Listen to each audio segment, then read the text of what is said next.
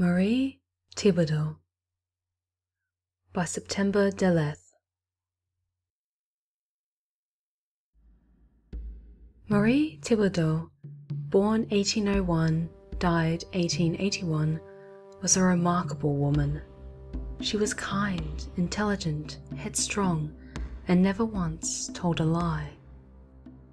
She was also a voodoo high priestess.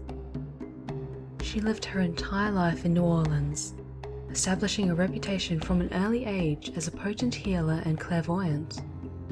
People travelled from miles simply to visit her apothecary, although many more sampled her legendary concoctions. By the 1870s, she had simultaneously become one of the most feared and revered figures in Louisiana. In 1881, a landowner named Jacob Parrish travelled to New Orleans from Baton Rouge. Parrish was vastly wealthy and devoutly religious, but possessed a morbid fascination for the occult. He had hired a platoon of ex-soldiers from the recently concluded Civil War, and with them he marched down Bourbon Street and into Marie's store. Despite the protests of her assistants, Marie granted Parrish an audience. He had heard rumours that the great voodoo queen had discovered the secret to eternal life and demanded that she yield it to him. Never flustered, Marie corrected him. She had indeed discovered a ritual that would grant immortality, but only for a set period of time 50 years to be exact. Once performed, the subject would rise again after his natural death, having no need for food, air, or water, immune to disease, and utterly impervious to bodily harm. After 50 years had elapsed, however, the subject would die once more, never to rise again.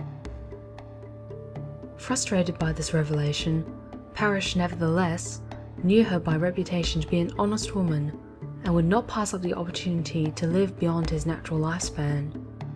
Marie agreed to conduct the ritual for him as long as he vowed to leave New Orleans permanently once it had been concluded. Parrish agreed, and the ritual was performed.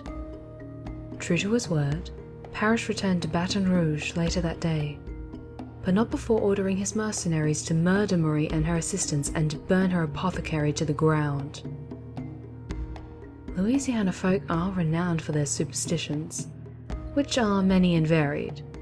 It was unusual, however, that dozens would later swear that they had seen disembodied shadows making their way en masse up to the Parrish manse that night.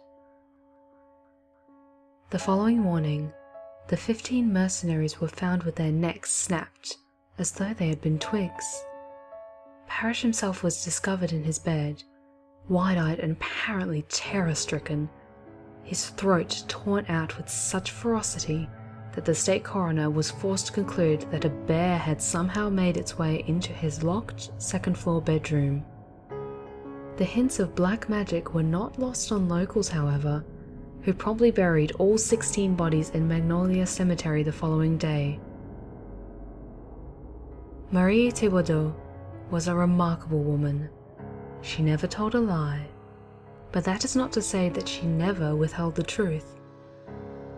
What she had not disclosed was that resurrection would not take place until 72 hours after death. When Parrish's grave was exhumed for relocation in 1953, puzzled excavators noted the singularly deep gorge marks found inside the coffin lid.